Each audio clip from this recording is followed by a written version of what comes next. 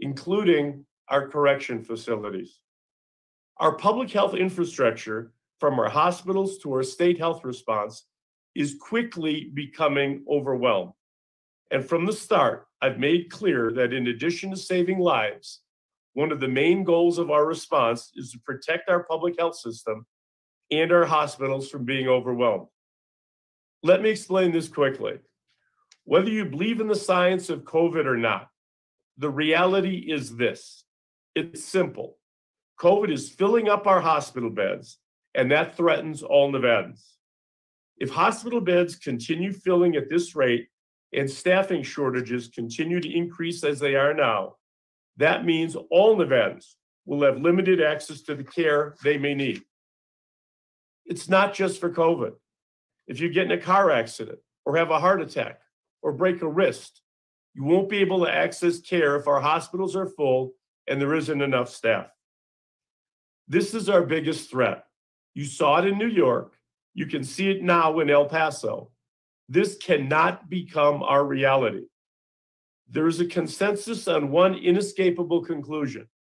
We are in a rapid trajectory that threatens to overwhelm our healthcare system, our frontline health workers, and your access to care. So it's time to act. From the start of the pandemic, there aren't any decisions that don't have negative consequences. Weighing the loss of jobs and businesses versus the loss of health and lives is painful without a perfect solution. While prioritizing the health and safety of Nevadans, I am also balancing the significant ramifications that further restrictions will have on our suffering economy. No state struggles with this more than Nevada due to the lack of diversity in our economy.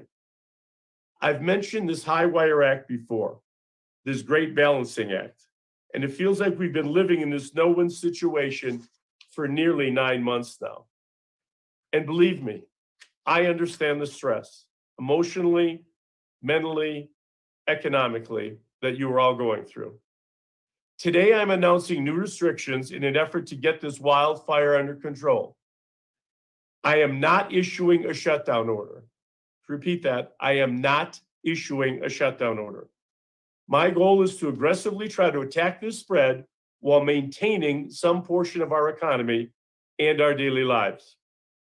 That's why I'm announcing that effective Tuesday at 12:01 A.M., Nevada will be operating under a statewide pause with the following conditions in place.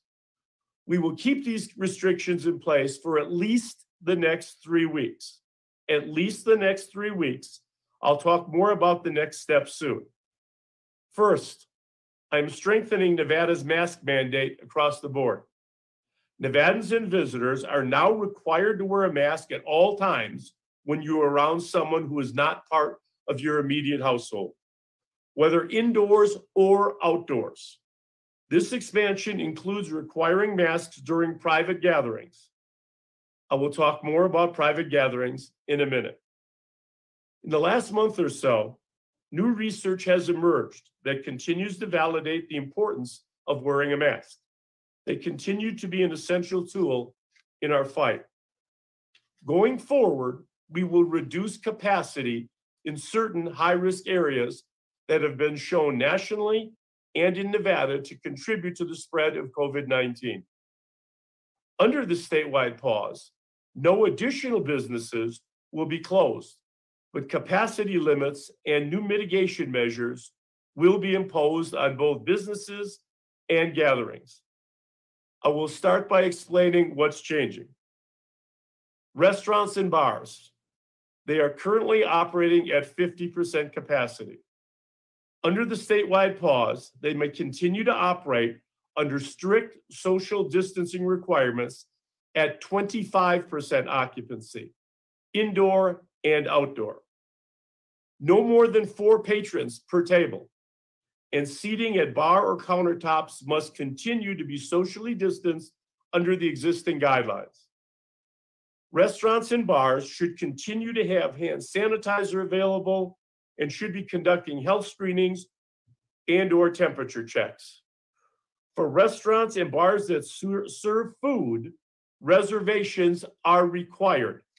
No walk-ins will be allowed.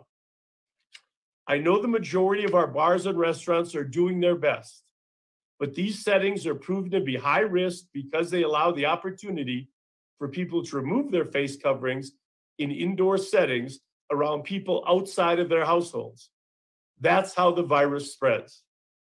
That's why I encourage curbside delivery and or carryout operations and why our healthcare experts want to remind Nevadans and visitors that you must keep your mask on at all times when you are not actively eating or drinking. Regardless of whether you are six feet away from others or not, you must maintain your mask at all times when not actively drinking and eating. If you choose to dine indoors, keep your mask on as much as possible. I encourage restaurants and bars to try to expand outdoor seating options. And I encourage local governments to work with these businesses to meet this goal. Gyms, fitness and dance studios, and places like martial arts studios currently are operating at 50% capacity. Under the pause, they may operate with no more than 25% occupancy under strict social distancing requirements. We are strengthening our mask mandate with no exceptions, no exceptions for indoor exercise. Masks must be worn at all times unless you are actively drinking. If the activity is too strenuous to be done while wearing a mask properly, you must seek an alternative exercise. Other businesses that will be moving from 50% to 25% capacity during the pause include the following museums, art galleries, libraries, zoos and aquariums, arcades, racetracks, bowling alleys, miniature golf, amusement and theme parks, and other similar activities. Additionally, gaming operations will be restricted to have no more than 25% occupancy and must operate pursuant to requirements issued by the Nevada Gaming Control Board, including health and safety policies. Restaurants and bars with, within gaming establishments will be restricted to the 25% capacity under the statewide pause. Public gatherings. Recently, we took great steps to increase gathering size to 250 people or 25 or 50%, whichever was less.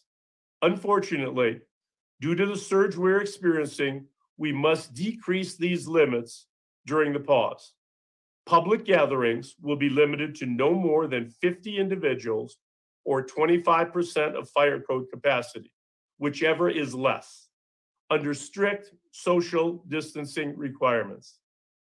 This includes places of worship, indoor movie theaters, live theater performances, casino showrooms, weddings, funerals, celebrations of life, milestone celebrations, and any other event where members of the public may be gathered together at the same time in the same place for the same purpose. No large gathering plans will be approved during this time. Again, all gatherings must be limited to 50 people or 25%, whichever is less. If larger events have been approved to take place in the next three week period, they must be canceled. Private gatherings. In addition to public gatherings, this statewide pause will also include new and necessary limitations on private social gatherings. We know a significant source of spread is right in our homes. We must do all that we can to prevent it. Under the statewide pause, private gatherings will be restricted to 10 people or fewer from no more than two households, whether indoors or outdoors. 10 people or fewer from no more than two households. As I said before, face coverings will now be required in both public and private settings whenever you're with people outside of your household, even if you're socially distant. And while I beg all Nevadans to listen to our health experts and the CDC by spending only spending Thanksgiving with your household members. If you choose to gather with those you do not live with, you must all wear masks. Additionally, there will be a pause on adult and youth sports tournaments during this period, effective Tuesday morning. There will be a pause on all adult and youth sports tournaments. Retail establishments, including malls, will not have to change their capacity during the statewide pause and continue had can continue operating at 50%. Retail retail grocery stores uh, with over 50 retail and grocery stores with over 50,000 square foot capacity will now be required to have employees at all public entrances counting patrons to assure compliance with capacity limits. Again, I want to strongly encourage and promote online ordering, curbside delivery, and or carryout options. As a reminder, every business venue and gathering space is required to post capacity limits under COVID-19 directives at all public entrances. You can find downloadable capacity signs on the NV Health Response website. Now, what won't change under the statewide pause? Brothels, adult entertainment establishments, day clubs, and nightclubs will remain closed.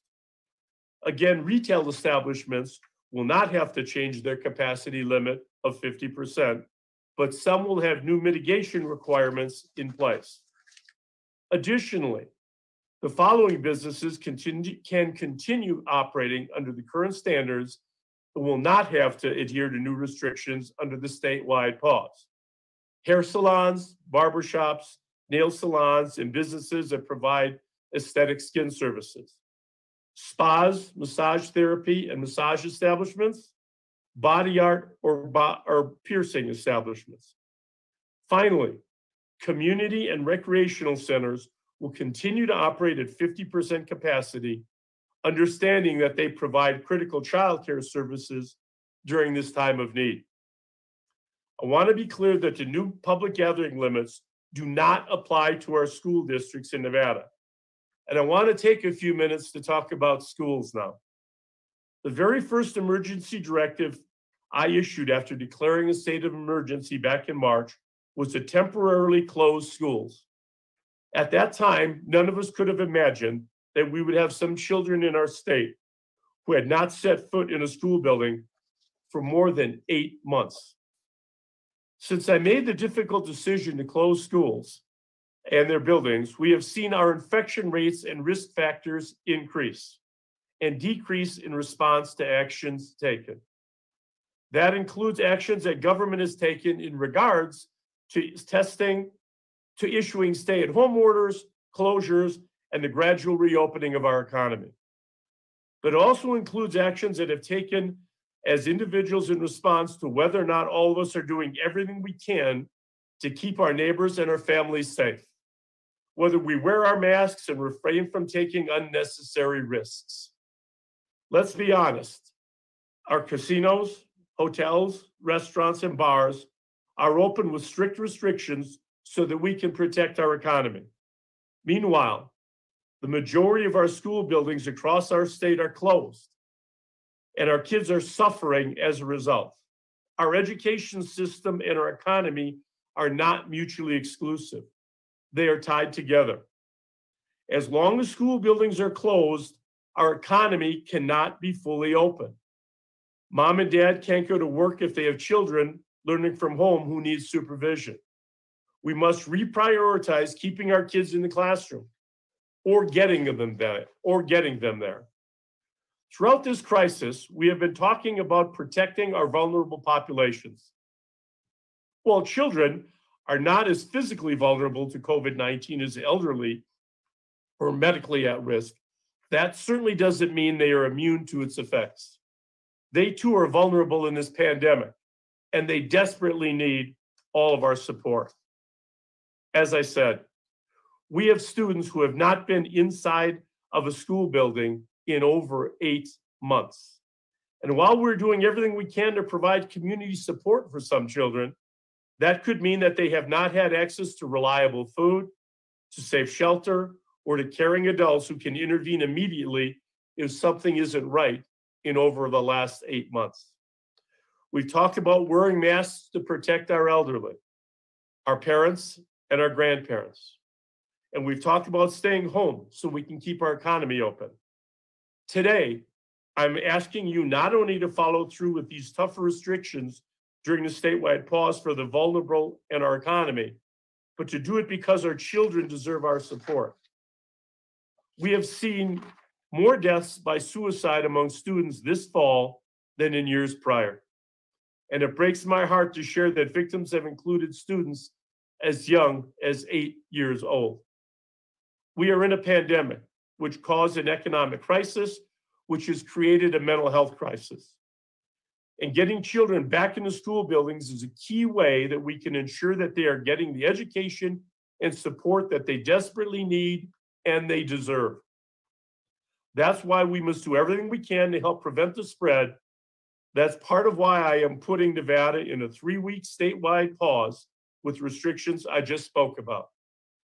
Restriction, the restrictions I outlined tonight apply statewide. They are baseline standards for all of our communities. But I would be remiss not to remind local governments of their ability to enact stronger measures, especially if your local public health officials are giving you recommendations or if your hospitals become overwhelmed or if you experience outbreaks in your counties. Take action. The measures I'm announcing tonight, our statewide pause, will be in effect for a three week period. Throughout this pause, we'll be evaluating our situation and looking for signs of concern or improvement. We will monitor our transmission rate, the slope of the epi curve, and our percentage increase of cases. Depending on the trends, Nevadans can expect a few outcomes. If our percentage increase of cases begins to slow and our epi curve begins to plateau, we will make an evaluation of whether it's a consistent trend or whether we need more time under these restrictions to ensure that the downward trajectory stays in place. Or we may consider slowly loosening back to the restrictions currently in place. The numbers and the virus, as well as our individual and collective actions, determine the timeline. If this action is not taken seriously and our situation worsens in the next three weeks, continuing the current trajectory that threatens our healthcare infrastructure, I will be forced to intervene and to take even stronger actions. Stronger, stronger actions will be targeted at high risk settings and may include the prohibition of indoor dining and service at restaurants and bars, closure of gyms and fitness facilities, severe restrictions on gathering sizes. That is what our future holds if our trends do not improve. As your governor, I am confident that I did all I could to avoid further restrictions and keep us on the path forward. But now I must act. I am hopeful that these restrictions announced today, going into effect on Tuesday, will help reduce our caseload. I don't want to impose further restrictions. We are too close to the real solution, the vaccines, to give up now. I remained I remain encouraged by the developments with the Moderna and Pfizer vaccines. There is a light at the end of this tunnel and we are getting closer, but we do not have a vaccine yet. There is no doubt that this surge is a global and national problem, but it's our problem as Nevadans to fix what we can fix within our own state. So, in this moment, with these new restrictions and with that optimism on vaccine programs in mind, I'm asking all of Nevada's leaders, business, labor, religious, elected, associations, academic, and many others to intensify your efforts even more to educate, inform, and model what is required of all of us to bridge the gap to the vaccine, to re- fully reopen our lives and to propel Nevada forward once again.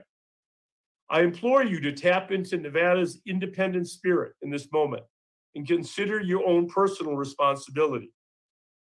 We decide our distance to others. We decide how long we spend in a high risk setting.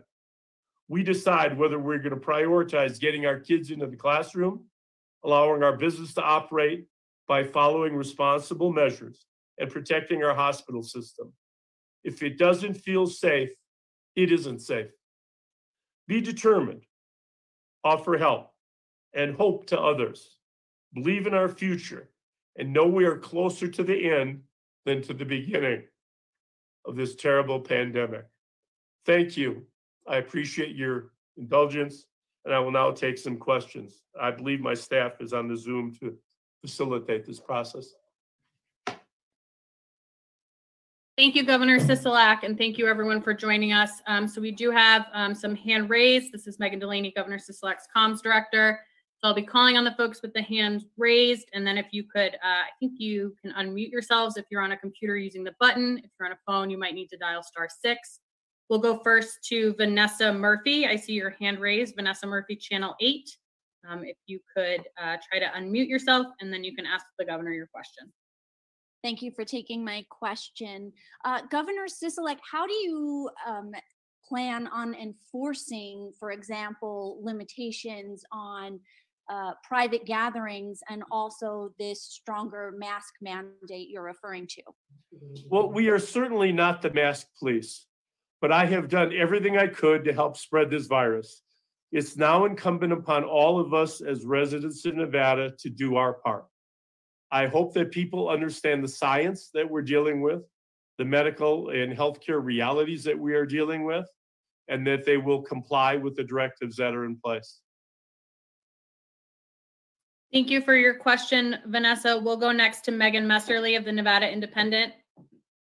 Hi, Governor. Thanks for doing this. Um, I know some businesses, especially some restaurants, have previously said that they just can't make ends meet at 25% capacity and are, are going to have to shut their doors. They just can't run a business uh, with the overhead. So, why limit uh, those businesses to 25% capacity and, and not have them close completely? Well, a lot of these businesses, I think, can operate at 25%. And with the curbside delivery and with the takeout uh, joined in there, it's our hope that with the PETS money that we gave out recently, we're doing everything we can to help our small businesses. This is a three week pause, and we're hopeful that uh, the community will support the businesses through other methods, be that delivery or takeout, but the capacity will be 25%. It's up to them to decide if they want to open at 25%. Thank you for the question. Um, I think I passed the host back over to Randy because I'm not good at the Zoom, but um, we'll do next question from Bill Dentzer of the RJ. Bill?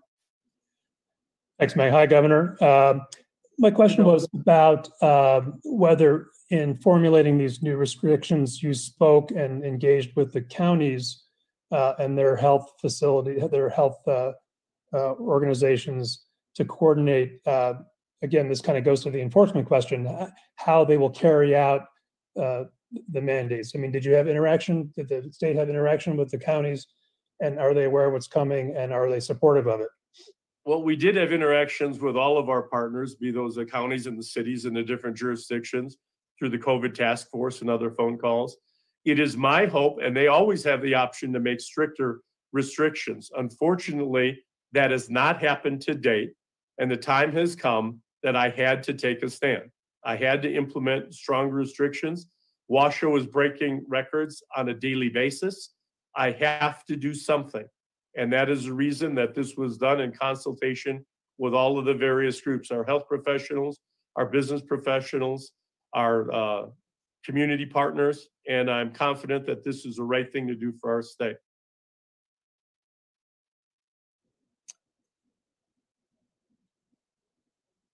Thank you, Governor. We'll go to um, Sam Metz of the AP next, please. Sam? Hi, Governor. Thanks for taking my question, and I'm glad you sound a little better. Are you glad you have the ability to implement such complex and pinpointed restrictions, or do you wish there were more uniform national standards for the pandemic? I, I, certainly wish there was a more unified national standard. We could have been much better off from the beginning had we implemented uh, mask mandates and social distancing and those sort of things. Unfortunately, uh, the task force, the COVID task force, and the administration did not choose that avenue, and governors were left to deal with it on their own. And I talked to my uh, gubernatorial colleagues on a regular basis. Different states are handling it different ways, and Nevada is different than some states. We have basically in southern Nevada, a one industry town. that we have to try to balance the benefits of opening up and protecting our health. And I'm confident that we made the right choice by limiting it in this manner.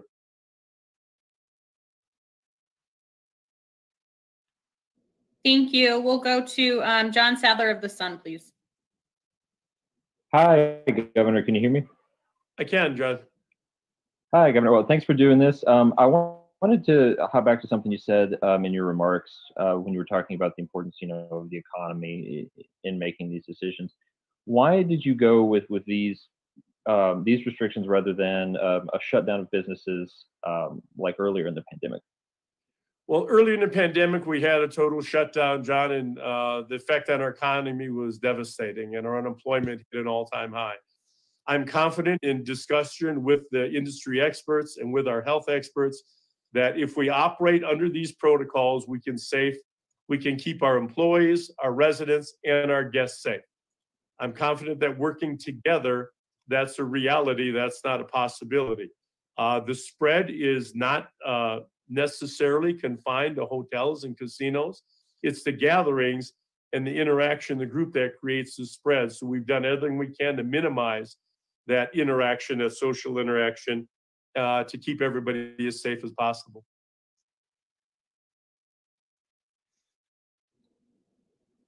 Thank you, Governor. Um, We'll do the next question with Madison McKay. Madison, please. Hi, Governor Sisolak. Thank you so much for taking the time. Um, will you encourage or talk to county commissions and local governments to enact tighter restrictions that are more specifically targeted to those areas, for example, indoor dining in certain counties?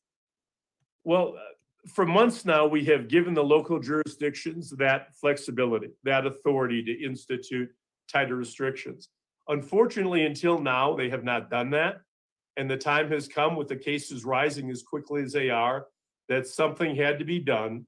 So I stepped up and we're implementing these restrictions. If counties choose to go further, I support them in that decision. Uh, we will be in constant communication and contact with them and provide any support that's necessary. But ultimately, they will have the final jurisdiction in their area. They can make restrictions more restrictive, but not less restrictive. And that'll be left up to them on an individual case by case, county by county basis.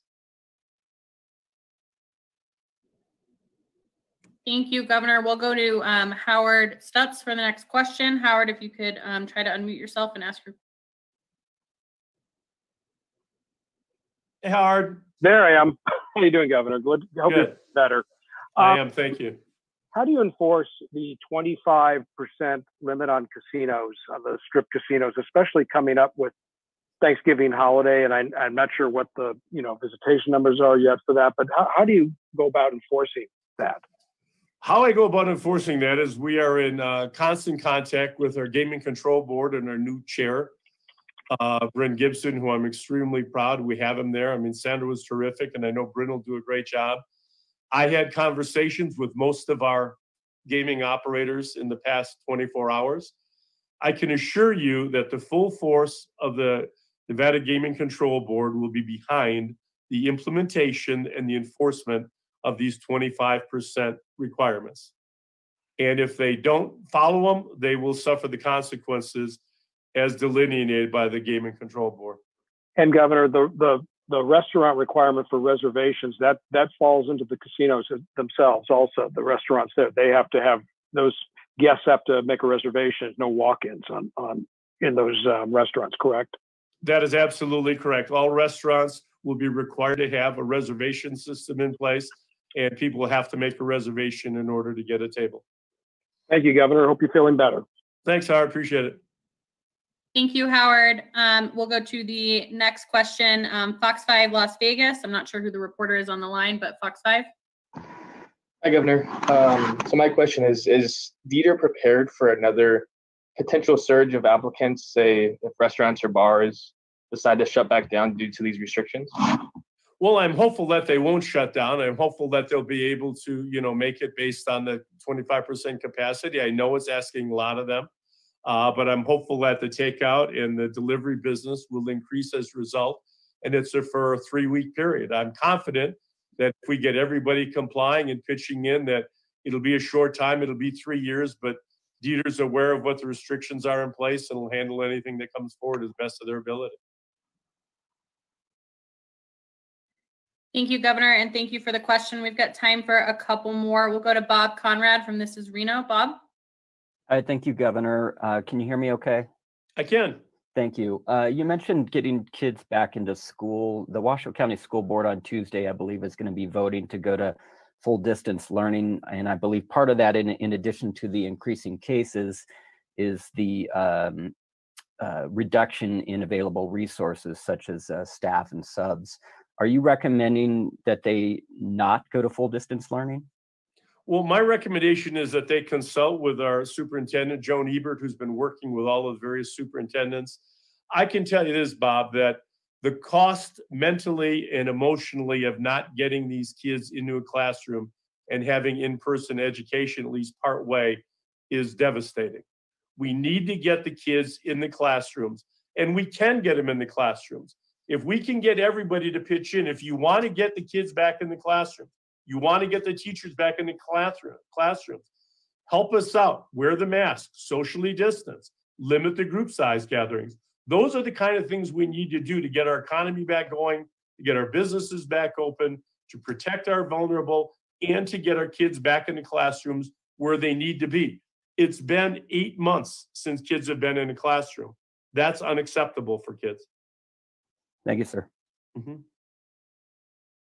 Thank you, Governor. I think we'll take one um, last question from Andrew Davey, and then um, we'll be able to wrap it up here, Governor. Okay. Uh, yes, hello, Governor. Um, to follow up on uh, some earlier questions, um, how do you feel the um, the federal government's response thus far has helped or hampered um, your efforts and the efforts of uh, our local public health authorities to um, to contain COVID-19? Well, the lack of a national plan has been devastating to all of the states. And all of the governors have basically been left on their own to deal with this situation, to procure PPE, to come up with a policy, to come up with uh, restrictions as it relates to healthcare. Or if something as simple as the encouraging of wearing of a mask would have happened nationally months ago, we would be in a lot better position than we are right now. But we're not. I mean, the reality is we're not in that position. And I'm hopeful that uh, a new policy uh, will come forward in the distribution and the uh, use of the vaccinations, the vaccines that are beginning to be made available, so that we can get them distributed in a fair manner to all of the states and to all of the people that need it in the most expeditious manner possible. And that needs to be done on a national basis. You cannot have every state fighting with every other state in order to try to procure these things. We need to have a national plan in place, and it's my hope that we do that. Great, thank you, Governor. If there are any. There is, and I want to just add there, there is hope. These vaccines they're talking about, potentially some of them coming out next month and into the first quarter of next year. As I said in my remarks, there is a light at the end of this tunnel. We're closer to the end than we are to the beginning. And that's what should give us some hope. And this is the time that you need everybody to just reach down. And I know we've asked a lot, and I'm asking more. This is the right thing to do. And I'm asking everybody to please participate, do what's best for you and your families. Thank you, Governor. And we uh, actually will take one last question from Telemundo, if you don't mind, and then we can wrap it up for the evening. So Telemundo, if you could unmute yourself and you can ask the governor your question. you consider, yes, Governor Sisolak, are you consider any kind of uh, penalty for those who doesn't follow this new mandate?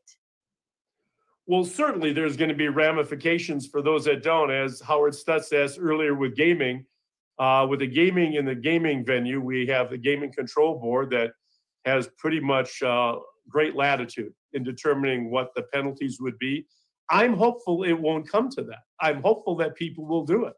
But local jurisdictions, business licensing, code enforcement, B&I, OSHA, all of the enforcement agencies are going to be made available, available and they're going to be out enforcing these new restrictions. But it shouldn't be that somebody has to come in and enforce them. It should be that people understand we want to protect our businesses. We want to protect our vulnerable and we want to get kids back in classrooms. And if we work together, we can make all of that happening by everybody doing their part. Thank you very much, Governor Sisolak. Thank you. Thank you, Governor. We'll have um, a press release out to media after this is over, and I'll be able to take any additional questions um, that folks, if they weren't able to join the Zoom, will be able to take those um, via email. So thank you very much, Governor. If you have any closing remarks before we end the Zoom. No, I want to thank everybody first off for their outpouring of concern about my health. Uh, I appreciate that. Uh, I'm very thankful that my symptoms were minor. And again, I want to thank and congratulate the incredible frontline healthcare workers that we have here in the state of Nevada and those that, that took care of me. And, and I appreciate that. But this disease is nothing to mess around with. You can take all the precautions and still be infected. It is extremely contagious, but we're we're not at its mercy. We can do so much if we just all work together and everybody does their little part. I understand that people are going to get together, but shorten your group uh, public gatherings if that's what you have, and try to protect yourself as much as possible, and thus protect your families and your loved ones. So, with that, thank you all very much, and God bless. Thank you, Governor. Thank you, everyone. Well, there you have it. Um, for those of you who are just tuning in and maybe you turned in a little late and you're like, oh my God, what just happened? Well, the governor just addressed uh, the state of Nevada and he said, Hey, I'm not shutting you down, but there are some new restrictions. If you're tuning in late and you're wondering what the new restrictions are, I will go over those. These new restrictions do go into effect at 12:01 a.m. on Tuesday. 12:01 a.m. on Tuesday and shall last for 3 weeks, so that means all the way until December 15th.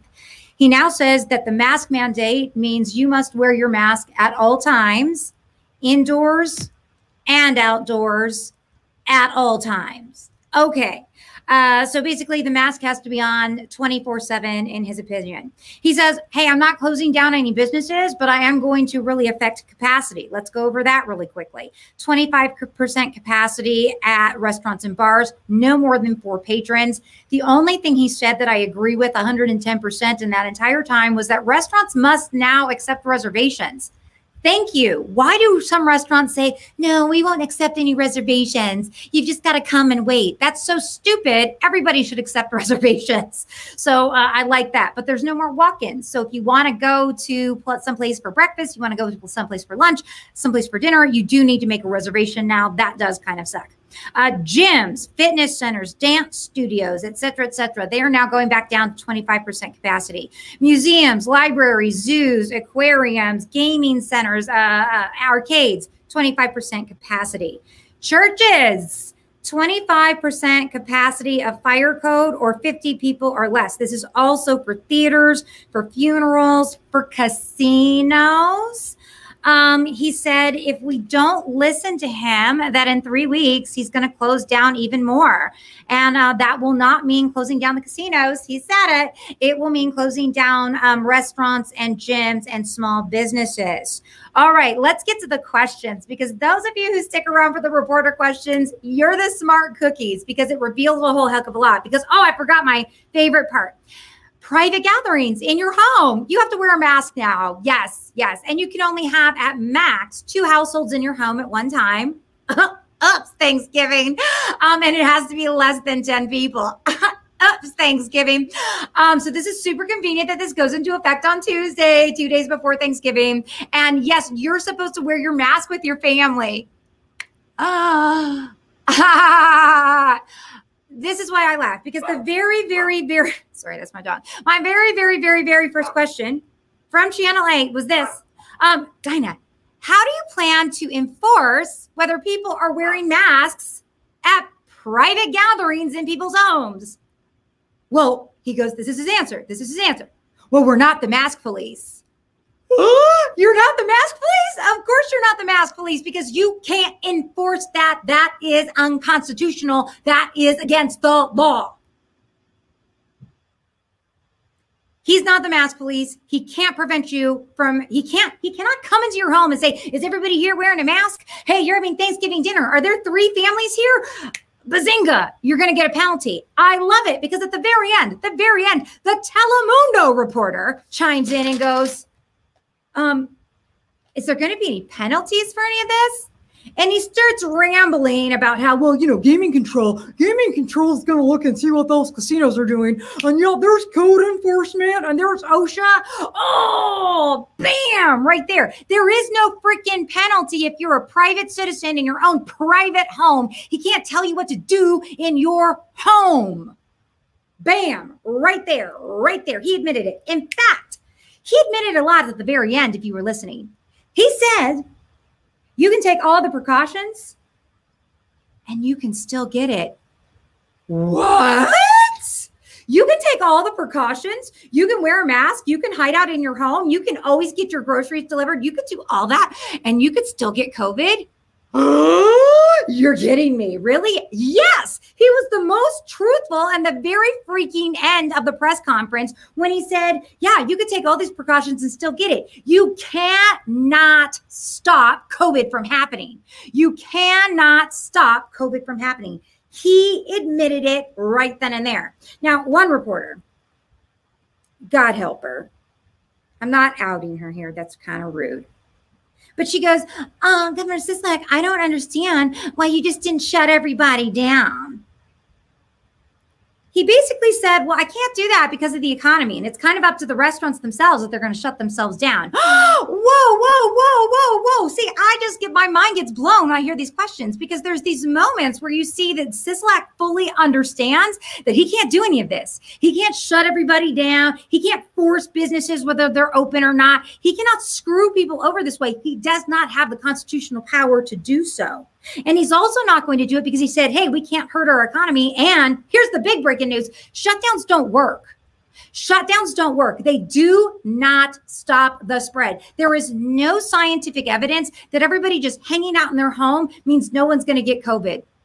There's no proof of it. No proof of it. There is proof that wearing a mask will slow the spread. There is proof that social distancing helps. There is proof that washing your hands helps. But just as Sisolak said in the very, very end, you could take all those precautions and you could still get it. You could still get it. He got it. Remember that? Remember that? Um, what we're seeing right now is you're seeing a bunch of politicians who want control.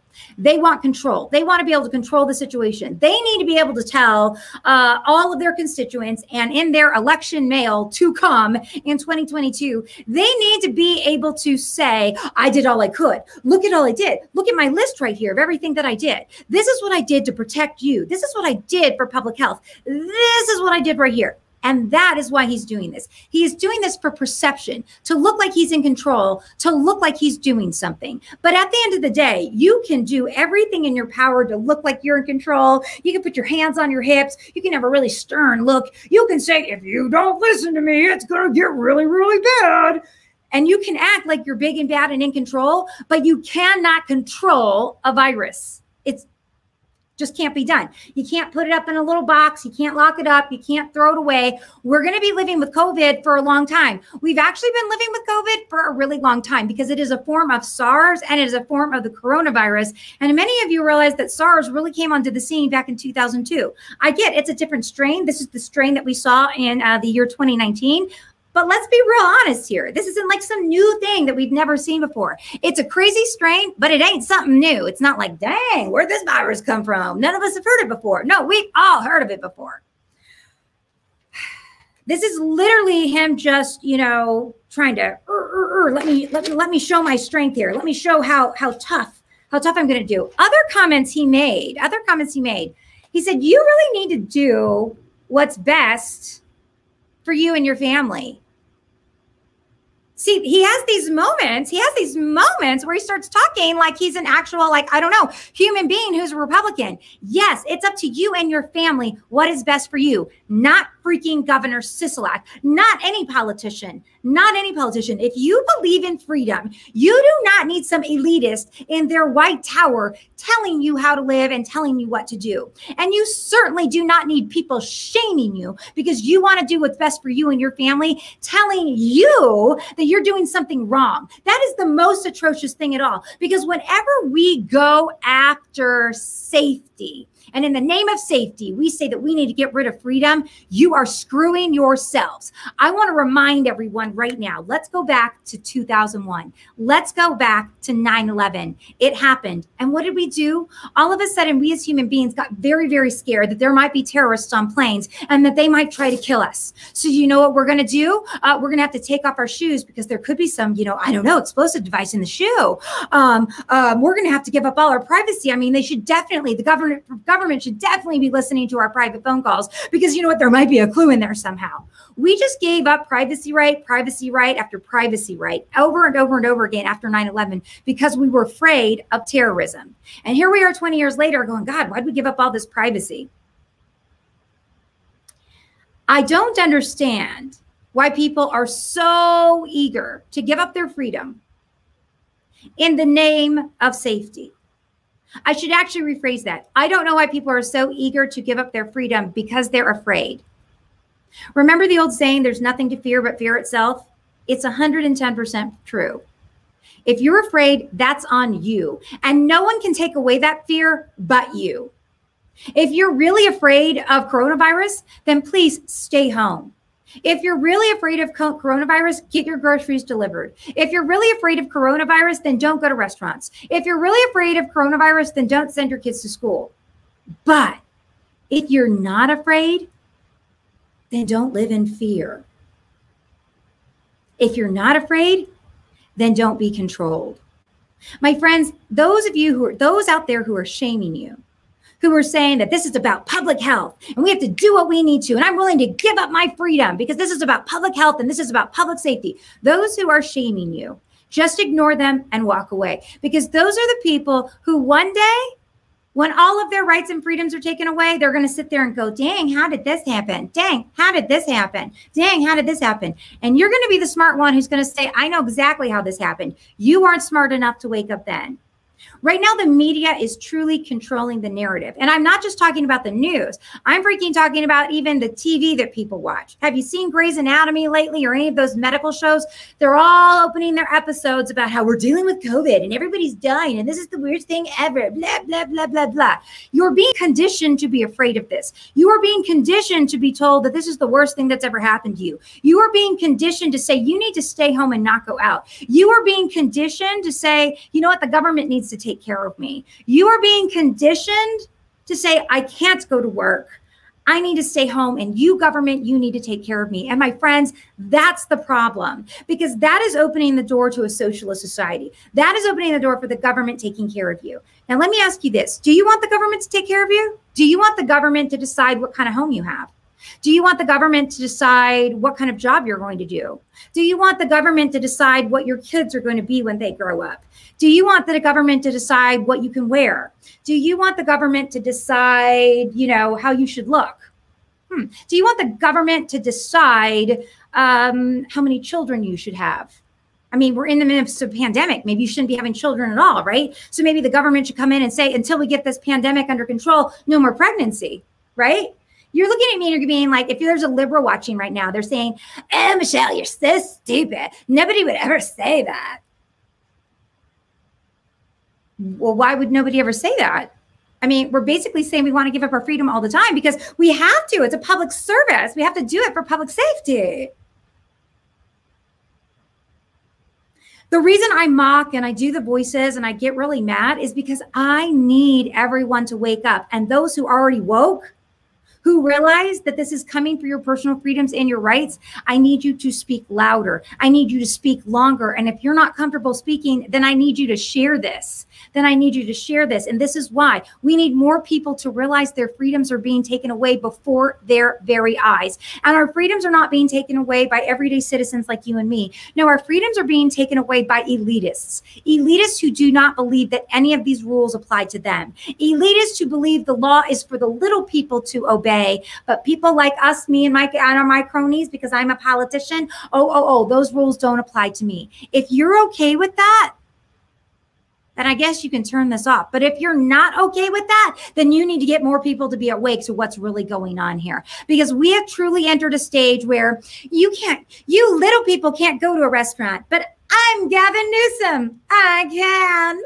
You little people over here, you can't get on a plane and go visit your grandmother for Thanksgiving. God, no. God, no.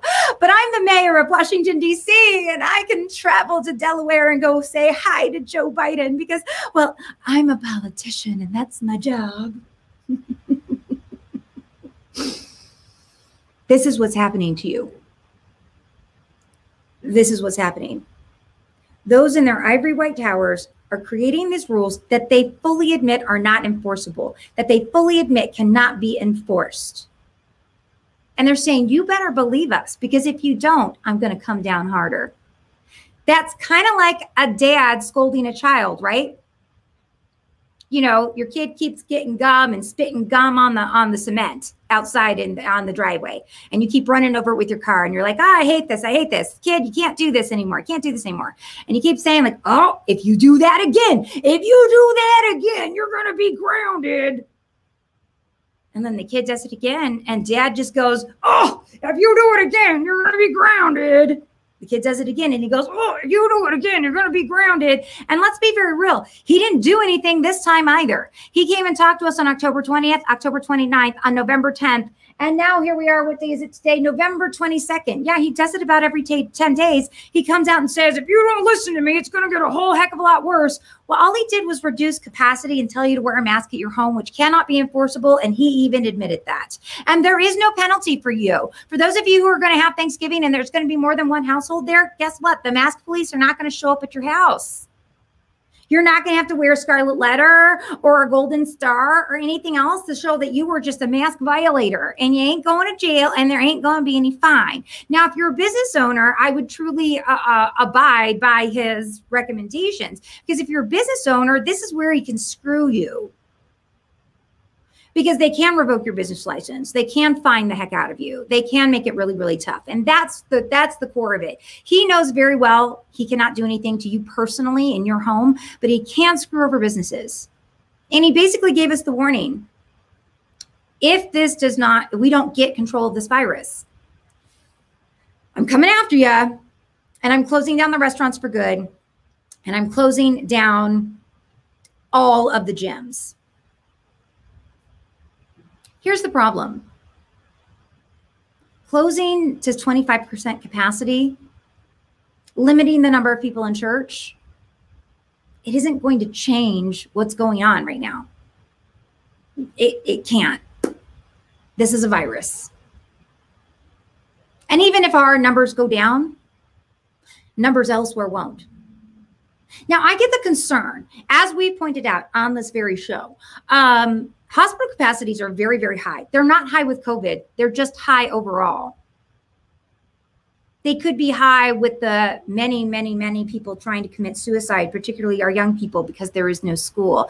They could be high because of just the regular old flu. They could be high because of elected surgeries. They could be high because of surgeries that have been delayed. Hospitalization overall since the 1980s has been very high in the months of November, December, and January, and near capacity for years. Yes, since the 1980s. For as long as they have been uh, posting, um, keeping records of this, we have had a problem with hospitalization capacity for decades now, particularly in the winter months, because that's when more and more people get sick. It is concerning to have your hospitals at that high of a capacity. I do want to remind everyone, though, many people who worked in hospitals are still furloughed because the hospitals have had to cut back due to all the cutbacks.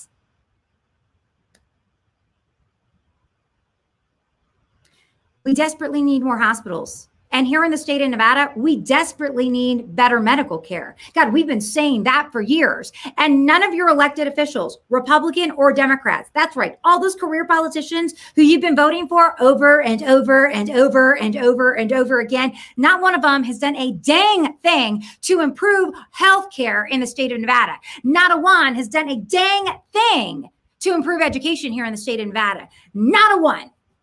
And those are connected, healthcare and education, because you have to have the higher ed to get the medical schools here to improve the healthcare, and you've got to have doctors who want to be here so they can have their kids go to good schools. But when you got the crappiest schools in the nation, no one wants to come and live here. Yeah, a bunch of Californians are coming here now because they're buying cheap homes and they're like, I can telecommute anyway, it's fine. But that is not the solution, my friends. Vegas is in a big problem. And we've been in this big problem for a really long time, for 20 years plus. We put all of our eggs in one basket. It's called tourism, and it doesn't matter what happens. It doesn't matter if it's 9/11, it doesn't matter if it's the Great Recession, it doesn't matter what it doesn't matter what it is. It doesn't matter if it's the October shooting, it doesn't matter if it's the pandemic. When you put all your eggs in one basket, the tourism basket, when tourism gets taken away, guess what happens? Your economy dries up. For decades now, we have been needing to change things here in the state of Nevada by diversifying, by improving education, and by pr- improving our healthcare. And our elected leaders refuse to do so. Now, many of you who are watching this were also asking questions like, why aren't any of these reporters asking important questions? Like, what the fudge are people going to do if he's reducing capacities? That means more people are going to lose their jobs right before the holidays, which totally sucks. And how is DETR going to be able to handle that? Now, that's a really great question because I don't know if you're aware of this, but DETR has been sending out letters, letters, government letters to people saying, guess what? You owe us like $10,000. Guess what? You owe us $5,000 for all that unemployment you got. Yet they haven't gotten one unemployment check. What the fudge is up with that, right? What the fudge is up with that? DETR is a very broken system.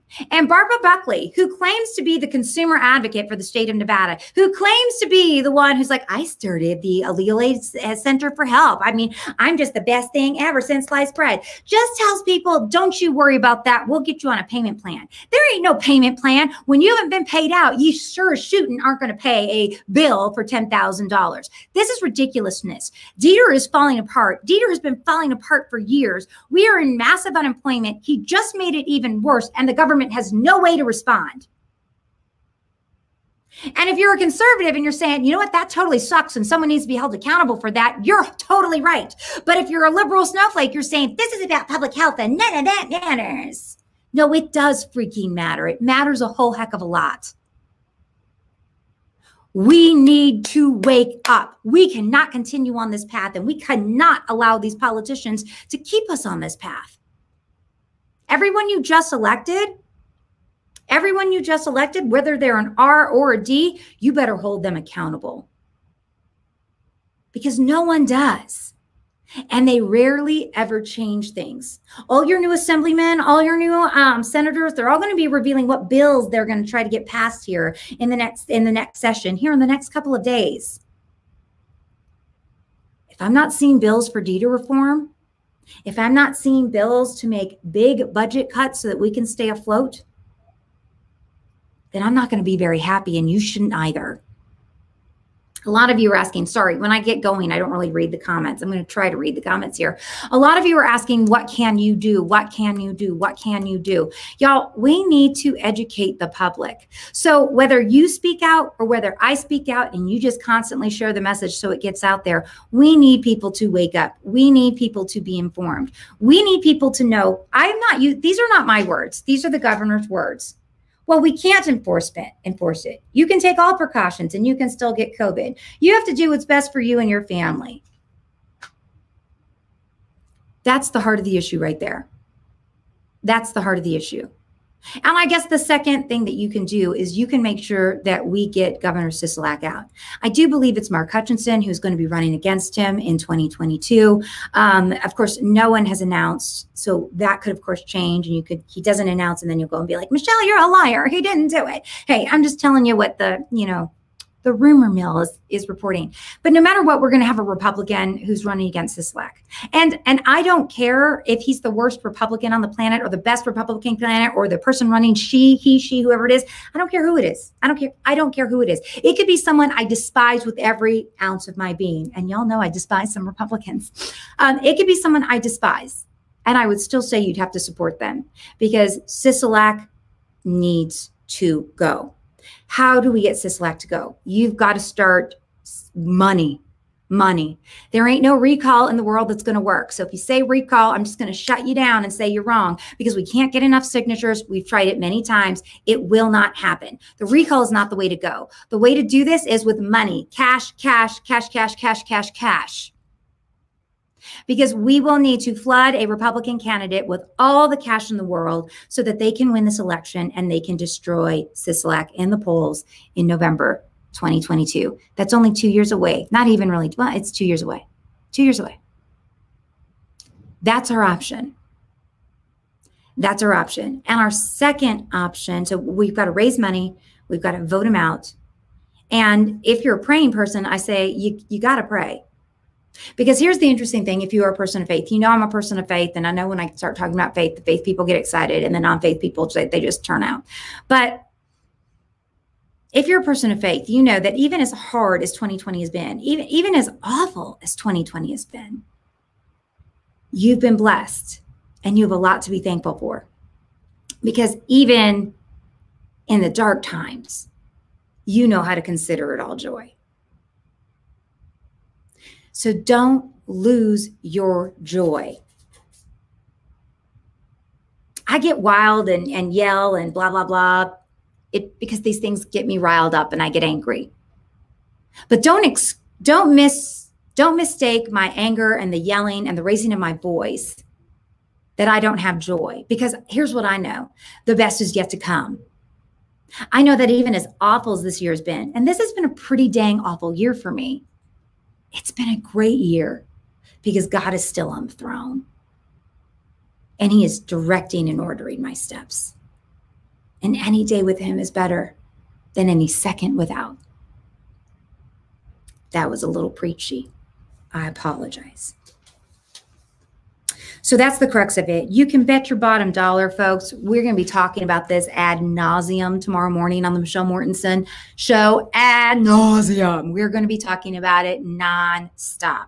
In that time, I'm going to come up with more ideas of ways that we can fight back and what we need to do. I would say, uh, donate, donate, donate, donate to PACs like Building a Better Nevada. Donate directly uh, to PAC because PACs are really the people you can donate to right now, or people who are going to be up for reelection again. Uh, if you want to send some money over to people like Senator Carrie Buck, uh, Senator Keith Pickard, people like that. Totally do it because the more money that they have, the more money we can give to quality Republican candidates. Those are all great things that you can do. And I'm going to come up with more things um, for us to do. Quickly, if you have a question that you want me to answer really quickly, start putting that in the comments right now and I will look at it uh, I will look at it and try to answer those as quickly as possible. But we are uh, going to have this on the show tomorrow. So tune in right here on Facebook or YouTube, 11 a.m. Pacific, uh, 2 p.m. Eastern. Kaya Jones is going to be with us tomorrow as well. We're going to be talking about this and we're going to be talking about probably my one of my least favorite governors. I have a, I have like four or five I really can't stand, and one that I can't stand is is Cuomo, and uh, I'm going to be talking some Cuomo tomorrow too. Um, so that is tomorrow's show. You can also tune in on KSHP 1400 AM. Okay, Teresa wants me to explain why the recall doesn't work. So remember a couple of years ago, uh, there was a recall effort to get rid of Joyce Woodhouse um, Patty Farley, I believe, and uh, Nicole Cannizzaro. Well, that didn't work. It kind of failed, right? And so the Democrats then, because they were in total control of the legislature, they passed a law that made it that you needed so many signatures for a recall to work that they were impossible. It was impossible to get the number of signatures needed. That's why none of the recalls you have seen in the past couple of years have done anything because the signature request is too massive. So while they did work in many years past, now they're not because you need to get so many signatures and you need to do it in an even shorter period of time. So they've really taken recalls off the table. That's why it won't work. So there's no mathematical way we can get it done. They've already tried three recalls, three recalls for Sisolak. Not a one has worked. Not a one has worked. Not a one has worked. Um, Sunny's asking, where do I find his new restrictions in writing? So um, at uh, the nevadahealth.gov website in probably an hour or so, they will release the full press release of what the issues are. I will try to remember to, to post that here as well. Um, Raj says, I would like to see an outsider. Are there any? Ah, that, Raj, that's a freaking great question. And I love that you asked that. Uh, it's very hard for outsiders to win elections. Why? Well, because in the state of Nevada, we have a primary system, we have a closed primary system. And in our primaries, not a lot of people vote except for the elitists in that party. Um, so those are the people who go to, for example, if you're a Republican, those are people who go to like Clark County Republican meetings, 200 something people. Those people control who gets elected. And they always choose the wrong people. Outsiders don't get in because whether you're a Republican or a Democrat, let's just be honest, Politics is politics, and they want the same old players. They want the same good old boys network. There's a lot of cronyism that goes on in politics in the right and the left. So just because you're a conservative or a Republican doesn't mean that like you're above all that. No, no, it's totally there. And they don't like outsiders. They all want it to be insiders. I mean, take a look at who's won. I mean, Andy Matthews won in District 37. Very happy about that, but he's a total insider. He works deeply with Adam Laxalt. Uh, we don't let outsiders in. And so if you want to change that, you're going to have to start funding the outsiders. I know y'all get mad when I say this is all about money, but it is freaking all about money. So that is what politics comes down to. Um, can Trump arrest him for treason? Kristen asks. Uh, no, no, um, I'm afraid not. Uh, that is because even though Sisil, let me explain that. That's actually a good point. So even though Sisolak's orders are unconstitutional based on the US Constitution. The way the laws in Nevada were written, I believe it's NRS 417 something. Um, I could be wrong on the number. But it basically says that when the governor wants to declare an emergency, the governor has full and total power, and there is no one, not the legislature, no one who can argue with him. It actually gives, under emergency orders, it actually gives uh, the governor the right to take your property if he sees fit and needs to. He has total, total control. And the governor issued an emergency order for as long as he sees fit, and that he's the only one who can say the emergency order is over. So that's why there's literally nothing we can do because the laws that our legislators passed, I believe this law was passed in the 60s and has never been dealt with since then, gives the governor all power in the state of emergency. Now, let's talk about what an emergency is. An emergency is supposed to be, let's say there's a raging fire on Mount Charleston and it's coming down the mountain and it's coming down to Vegas and we need to get this debt. We need to, we need to stop this fire, right? It's a wildfire. There's winds everywhere. It's raging. We need to stop it. Well, he might say, I'm taking over, you know, this little convention area over here. I'm taking over this theater so that firefighters can be there and help fight the fire. Everyone's totally okay with that, right? Because there's a fire coming down the mountain and our homes are all going to be destroyed. It is literally for emergencies that have a very short window. Well, this emergency has now lasted nine months and heck, could go on for a year. And no one can take away Governor Sisolak's executive order to rule by emergency powers except Governor Sisolak. Now, some of you are asking, well, Michelle, I mean, I'm sure once we get Republicans in power, they'll get rid of that. No, no, we won't. I'll tell you why. Politicians love power. And no governor is going to sign a law that's going to take away his ability to have total and complete control. There you go. Any other questions? Uh, I don't know what even over eminent domain means in regards to what. Okay, Sherry says, is it true that Sisolak is buddies with Newsom and Pelosi? Well, I'm sure they're all buddies and friends, kind of, but I, I don't know that that is necessarily uh, related. They're just. My theory, again, this is not proven. My theory, uh, they're really hoping the Biden administration will give them a bunch of money in a bailout. That Pelosi and the Biden administration and Schumer are going to work out a plan to really uh, pay all these states back. And so they're doing the shutdown. So they say, yep, we do need a trillion dollars. And they think that Biden's going to like roll on up and be Oprah and be like, you get a trillion dollars, you get a trillion dollars, you get a trillion dollars. Um, I, I don't, I don't think that's happening. Um, wait, so could he do a state emergency and keep us from traveling out or in Nevada? Tasha, he could do that. He hasn't done that and he's not going to do that. Do you want to know why? Same reason why he won't close down casinos, even if in the next round he wants further restrictions. He's not going to close down casinos because he needs those tourists to come here because our economy is really, really hurting. And starting in the beginning of February, the legislative session opens up and they're going to have to come up with budgets for the next two years. And they don't have any money. And so he is not going to go after retail and he is not going to go after the casinos. He admits it every single freaking time he speaks because he cannot hurt us with the shutdown.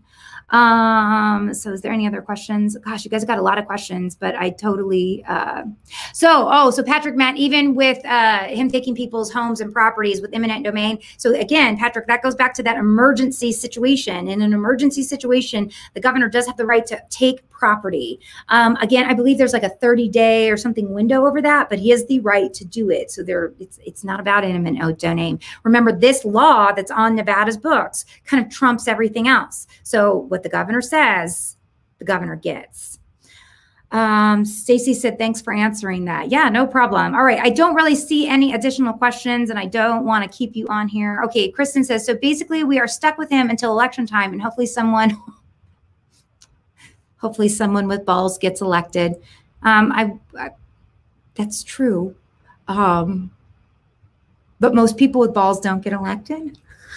Um, and most people who you think have balls are really just pretending they have balls, but but they don't because they all bow to someone and they bow to whomever their special interest is or whoever's lining their pockets. That's the nasty, dirty truth about politics. Listen, I spent two years of my, uh, three years of my life pursuing politics and I saw how it works from the inside. And part of the reason I'm doing this show is I think I need to pull back the curtain so that you can see what really goes on behind the scenes too. And I know there's some people because when I say that, you're thinking like, well, not this person. I know this politician has total balls. I know it. No, they don't. No, they don't. Because the minute that their special interest group or the minute that someone who's giving them cash gets pissed at them, they cower as quickly as they can cower. Because here's the problem with politicians overall they love the money and they love the power. And when you threaten to take one of those away, they say, What do I need to do to get it back? Because there is nothing more desirable than money, power, and sex. You know it. I know it. We all know it. Um, I don't know what this Barbara is, what she's saying that makes all of you so mad. But Barbara, thanks for playing because you've got everyone upset. Kat said, Why don't you run?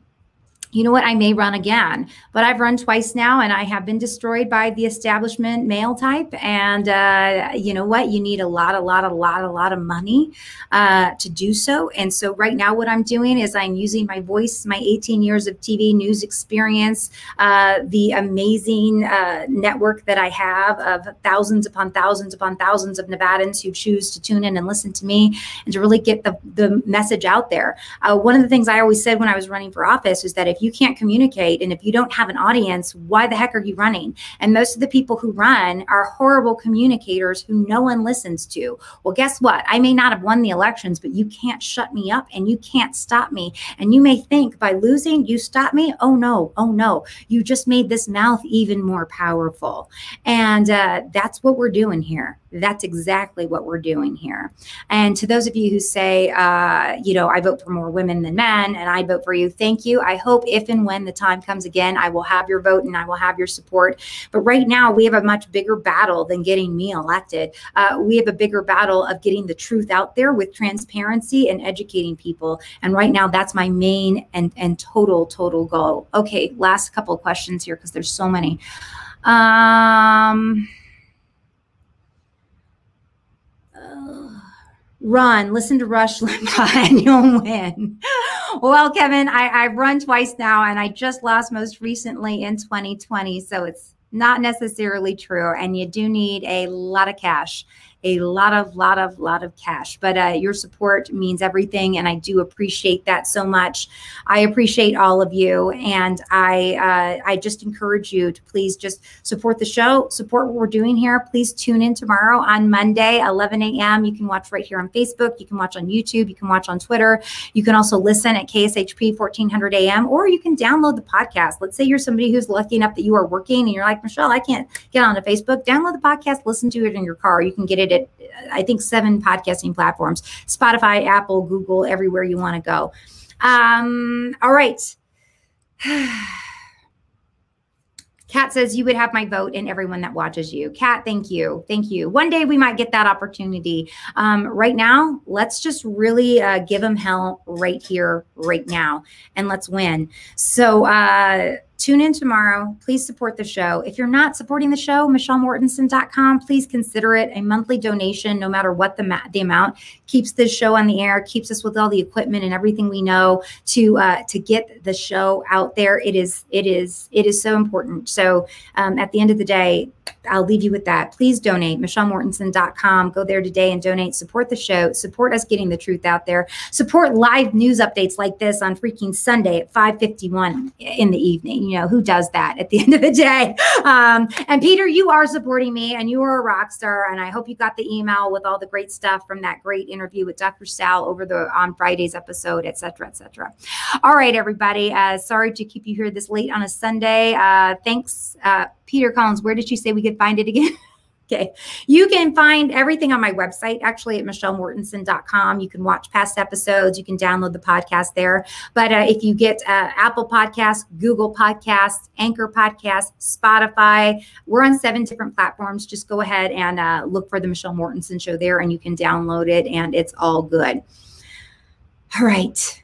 Um, on that note, uh, have a great Sunday, rest of your Sunday. I'll see you in the morning. I'll look a lot better. Won't have the fun bags under my eyes.